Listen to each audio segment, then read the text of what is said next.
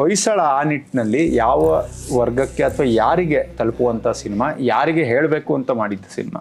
Usually ಒಂದು ಮಾತಿದೆ, ಯಾವಾಗ ಅಂದರೆ ನಮ್ಮ, ಅಂದರೆ ಈಗ ಆಲ್ರೆಡಿ ನಮ್ಮದೊಂದು ಬಳಗ ಇರುತ್ತಲ್ಲ, ನಮ್ಮ ಸಿನಿಮಾಗಳನ್ನ ನೋಡೋವಂಥ ಬಳಗ. ಅದಕ್ಕೆ ಇನ್ನೂ ಒಂದಿಷ್ಟು ಬಳಗ ಅದಕ್ಕೆ ಸೇರ್ಕೋಬೇಕು. ಆ ಆ ಬಳಗನ ಅಟೆಂಡ್ ಮಾಡಬೇಕು, ಅವರು ಸೇರ್ಕೋಬೇಕು ಸಿನಿಮಾ ನೋಡೋಕ್ಕೆ ಅಂತ, ಅವರು ನಮ್ಮ ಬಳಗ ಆಗಬೇಕು ಅಂತ.